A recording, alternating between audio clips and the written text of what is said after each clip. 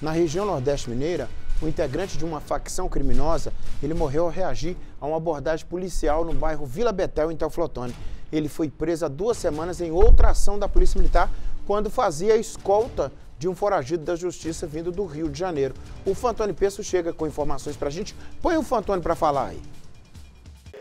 Nicomedes, na madrugada de hoje, um cidadão veio a óbito numa ação de combate ao crime em Teoflotone. vou conversar com o Tenente Lucas Oliveira. Tenente, quem é o suspeito? O indivíduo ele é conhecido no meio policial, é, tem passagens por tráfico de drogas, tem passagem porte ilegal de arma de fogo, homicídio. É um indivíduo que tem registro policial por integrar, integrar a organização criminosa e recentemente esteve preso, inclusive por esse fato, a partir do momento que ele fazia escolta de um dos chefes da facção família Teoflotone, com destino à cidade de Teoflotone, na ocasião que foi abordado pela Polícia Rodoviária Estadual. E o que aconteceu nessa abordagem no bairro São Cristóvão? Bom, o indivíduo, ele, é, a guarnição suspeitou do indivíduo, a partir do momento que ele apresentou uma postura diferente, apresentando nervosismo.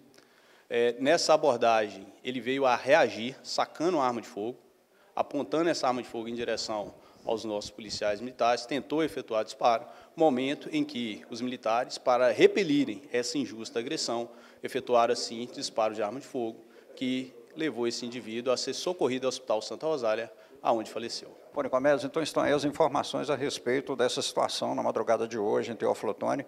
É, só retificando, não é o bairro São Cristóvão, foi na Vila Betel, na zona norte de Teoflotone. Com as imagens de Victor Cuif, Antônio Pisso para o Balanço Geral. Não quer demais dizer, né, Fantoni, que todas essas mortes decorrendo dessas, decorrentes dessas operações policiais, todas elas passam no crivo aí de, uma apuração administrativa da Polícia Militar, além do inquérito, né? Que corre normal na, na esfera criminal aí, né? É bom pontuar isso.